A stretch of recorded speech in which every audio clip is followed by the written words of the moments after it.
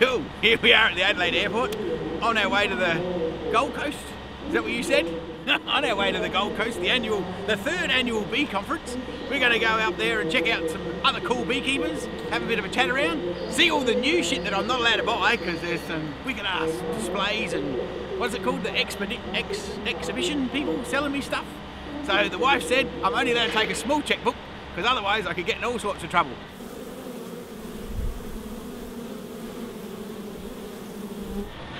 I like the fact that even in a modern place, you've still got a bit of shade cloth to keep the shit off people's heads.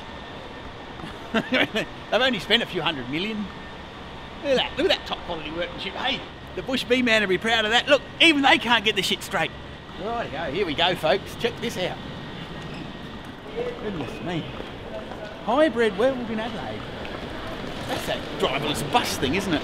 The hybrid world.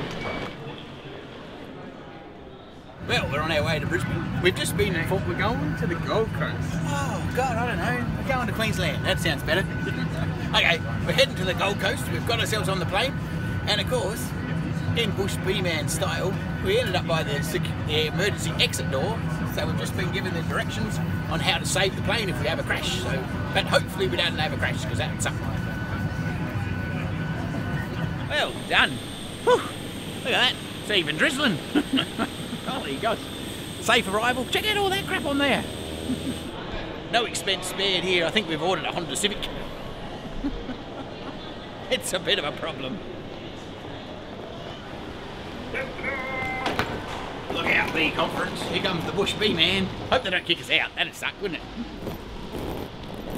Hell, we might have to go on a road trip. This is a bit snazzy, this car.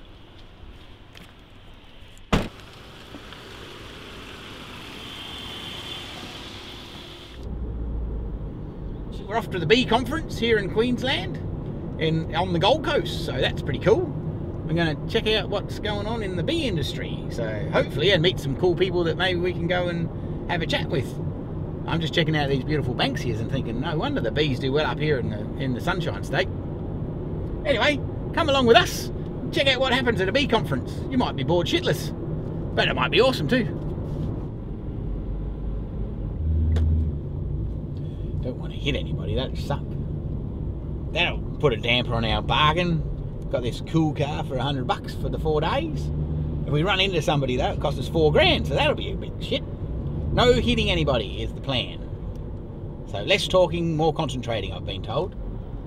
Don't get me too close to the edge. Have a look at that drop off. My God. The lads put us on the 29th floor or something. It's insane. Anyway, it's kind of cool. We're here at the Sunshine Coast, which isn't much sun. No, we're not at the Sunshine Coast. We're here at, where are we? The Gold Coast. It's supposed to be sunshine, but as anyway, we're here at the Gold Coast, which is a reference to sun. But as you can see, there's no sun, so it's a bit. Well, I guess it is winter. Anyway, it's pretty groovy. We're here, stuck up in the in the bloody middle of nowhere. The room we actually did book sort of got mucked up, so at the last minute we had to do a last minute exercise of insanity, and this is the room that we found, or the lad found. How good's that? So we're on the beach, which is pretty cool. So here we are. We're actually we're actually pretending we're organised, but we've actually got this at like half the price it normally costs. So that's good. Oh, and by the way, thank you to Patreon dudes. So I hope you enjoy this little journey into um, beekeeping in Australia, and let's see if you can see what we're up to.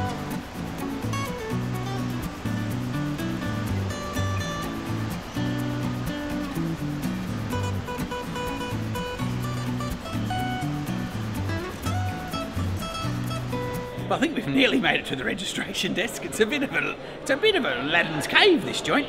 Things must be looking up in the bee industry though. It's a bit of a snazzy little place. So I hope we'll fit in. I mean, it's a you know we might be slumming it. We might be a little bit lowbrow for this event. But anyway, let's keep stay tuned. You never know what might happen. Well, look at that. We've got a fancy bag. New plus. And I even printed off, I printed off the program, but they given us one. Hopefully we get a pen, because then we can write some stuff down.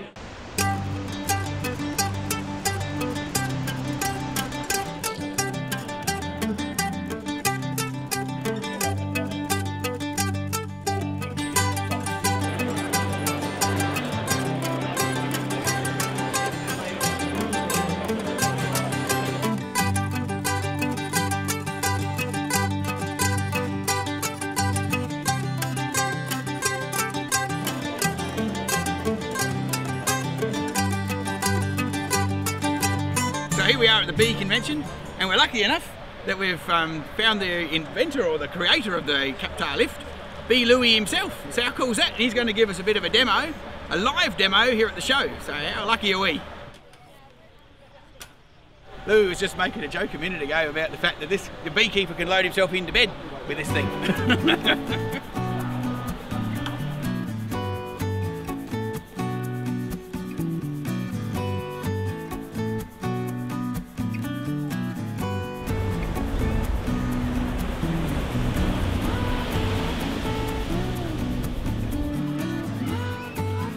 Well, I reckon the best part about the bee conference is that we're not where it's cold and we're by the beach. The downside to it is we haven't actually been able to spend much time here because we've been learning all about beekeeping. So there you go, that's pretty exciting.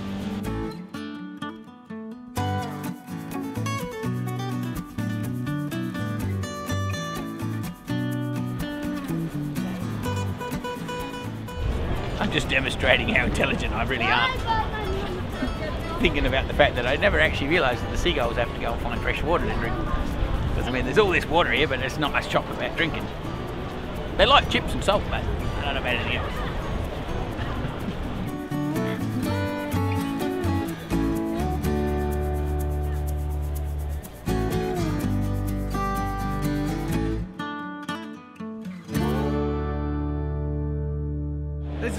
David. He's he's the man from America who's been beekeeping for as well 50 what, plus- 50 plus, plus years, years. which is which is pretty amazing. And um, I think he's credited with finding out about colony collapse in, in his country. And Yeah, we just I'm thought the- they, we- say, they say I'm the face of CCD, and that's pretty ugly. so, so we thought, well, what a golden opportunity to grab him here and, and um, yeah, share his knowledge with the rest of the world.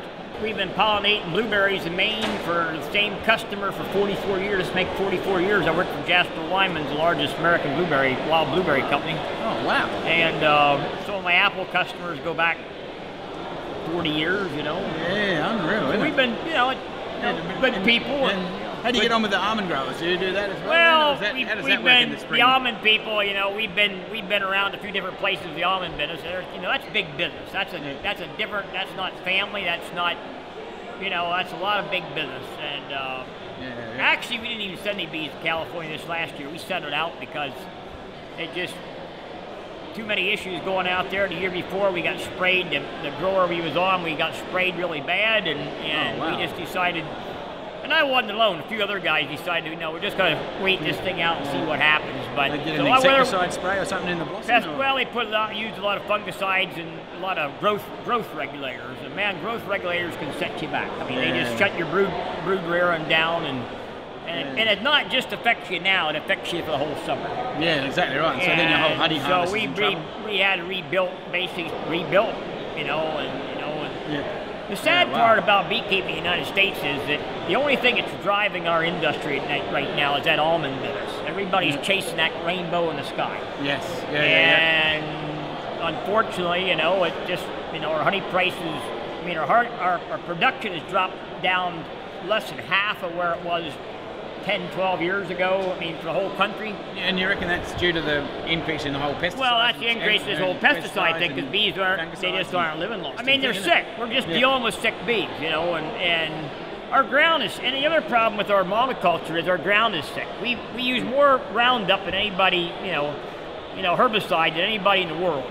I mean, that ground is dead. I mean, when there's no fish worms left in the ground, the ground's gone. Yeah, it's in trouble. I mean, yeah. and we're so- streaming down the road after you. That's, and the, that's, right. why I'm interested in having yes, a chat. I mean, you know, we're you guys, down you that guys road like are a- right here yeah, behind us. You know, maybe not as fast, but Foot yeah, on the pedal and we're into it. Like, yeah. It's pretty messy. The chemical And- companies know they got, you know, it's, it's a money making game. Oh, absolutely incredible. And they've got it sewn up. About the only thing in Australia that hasn't quite happened is the whole seed bank monopoly part that's going on with the GM thing. Well, That's and coming, I tell you what, it, yeah, the thing is, you know, oh, our seed, you know, this seed business right now, Bayer is controlling with this merger with Monsanto. Bayer is going to control 70 plus percent of the seed in our country and 80 some percent of the pesticides. it's just insane. It just, you know, it just, it's insane. Yeah. But, and so you go back 10, 5, 10 years ago, we still had a lot of mom and pop seed companies. Yeah, yeah. They bought them up, or forced them out of business, or Monsanto forced them out of business. Or, well, you signed this agreement and you would abide by this. They call it a conservation agreement. Well, there's nothing conservation about it. But anyhow, you signed this agreement and you basically gave them permission to come out of your farm anytime they wanted to see if there's anything there that didn't belong there. Yeah, yeah. And okay, so you got a in a one case not too far from my from where I'm at, a soybean a far, farmer growing soybeans. They found they found soybeans that that didn't that had their traits in some in somebody else's beans he was growing. Okay. Oh, okay. He was so he'd on, 40 he'd on they sold fined his... him forty-four thousand dollars. Wow. And you know the lawyers the lawyers told him you know you better pay it because you go to go to court you're going to lose. What do you think we probably should do better or different than to maybe I don't know. To, I don't Well, know. My little voice you isn't going to make any difference, but You know, I am just curious. I to told some people today, told some day, people today on a bus on a tour. You know, like the Canadians tell us, you know, if you guys do something dumb th- this week, we're gonna do something the same thing dumb two weeks from now because we're not smart enough to figure out. we- we- we- Somebody we- needs, you know, and I and I don't know how you do it because the problem is these people have have inner, you know, in talking to Australian people I know in Australia from five six years ago. Just like you said, they're in. They're all woven in your government. They're already there. Yeah, yeah. And somehow you got to get that mess stopped. And I don't know. Yeah, yeah, and the people, you know, it, it takes the people, and it, you know, it takes not just the farmers and the beekeepers to stop this. It takes the everybody. See on the news, okay, there's an apple shortage. But you go to the supermarket, and I swear to God, there is just rows of them. Rows Like, of apples. And so, so, so Because the the people in the city go, what are they Yeah, talking about? right. You know, like, Yeah. like, okay, the apples might be, I don't know, a dollar a pound dearer, whatever it is, but there's still, They're, there's they're a whole shop there. full they're of them. there. And, yeah. they, and the price you know, went up. Yeah, but, but they, still, well, I yeah. don't remember how much it paid the last time, but Exactly, yeah, and, okay. and they, so they get a disconnect as to what really is involved. Yeah, I in mean, we're getting- living, and I'm sure it's the same way here. That, you know, it used to be that, you know, these people in the city were at least connected to somebody At least they had farming a generation away. You know, Yes, they had granddad on the farm. right, or, granddad or, or, uncle somebody. or something. Now, they don't know anybody. I mean, Yeah. you know, the, the people that are here don't. I mean, it's not only here; it's in the states, everywhere. Nobody. I mean, you got five farmers producing food for hundreds of people, Mm-hmm. where it used to be, you know, one, you know, maybe ten farmers to hundred people. Now Yeah. it's, you know, it's it's. Yeah, well, know, it's the same here because we had you know, whole towns basically from That were farming farm families. and- communities. yeah, yeah, and now there's nobody. There's no football team or netball team anymore because everybody's gone and there's, like you say, Well, five, five mega farms. Right. That's And- exactly. That's exactly. and that's the right. next. That's probably the next bit that we're headed to is where you've gone. Like, as in, okay, then those mega farms become More bigger, mega- and bigger, bigger, bigger, and then eventually it gets And- untenable. Right, and then you know, once to get to that point, you know, the well, in our part of the world, I mean, in the mid, starting especially the Midwest, I mean, these farms get so huge. that Finally, the chemical companies even buy an interest in them. You know, Uh, wow. and then you really got. I mean, we have you know, but the interesting thing, I mean, the thing that that it's happening in the U.S. and it's happened in the last four or five years is people are starting to think about where their food came from. Yeah, That- amen. That's that's pretty important. Yeah, And definitely. we've got, you know, in the honey industry, we have several packing outfits that have their their increases that are in the 25 20 25 percent every year for the last couple of years because they're packing local, raw, unfiltered honey, and people Yeah. are looking for that. We, Yeah, actual real real product. Not something that you know that came from five countries on the back of the jar. Yeah, exactly Uh, right. Yes. And in the meat business is the same way. Meat, you know, people are starting to worry about where their meat came from and so on and so forth. Yeah. And you know, this is a new, a whole new deal because the fact it wasn't that way ten years ago. I think people are starting to understand that you are what you eat. That's exactly. right. Exactly what you consume Well, is and what I'm you not, become. you know, I'm Like, not sure, I'm not sure about Australia, but I can tell you, the United States, you know, our, our health, our health problems, our cancer is, and our and our child learning problems, and all that stuff that's associated with what you eat is just going, it's going Yeah, right, Yep, yep. And I think it's a, as you said, it's a groundswell of the community starting to say, Yep. enough is enough. Let's let's look at how. A lot of people are starting to look about how to eat, eat, and you know, Yeah. and and on Yeah, I mean, we don't have to be, I don't know, ultimate organic. organic people, but but, we you need got to start thinking about what where our food came from. Yeah, thank you very much, Dave. That's awesome. Yep. It's really nice to meet you. I'm looking forward to hear you, hear you, hear you right. talk.